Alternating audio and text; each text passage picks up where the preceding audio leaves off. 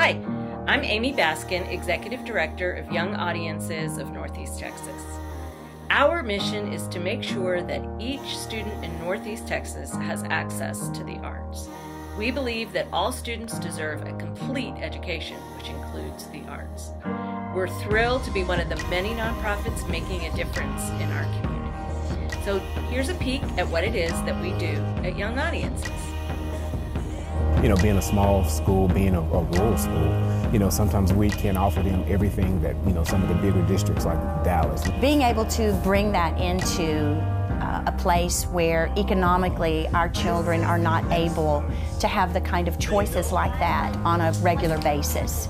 And uh, to let them come in and learn how to play a guitar, uh, learn how to dance, uh, and actually have a guitarist come in and show them a real dancer come in and show them.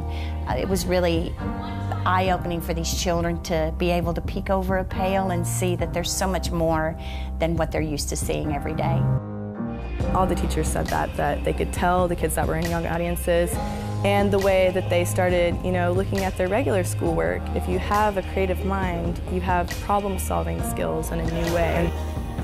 Young Audience is phenomenal for kids in East Texas. It helps bring arts to all of our kids across East Texas and exposes them to those things that they would not otherwise see. As Giving Day approaches, we hope that you will consider young audiences when you're making your donations. Thanks!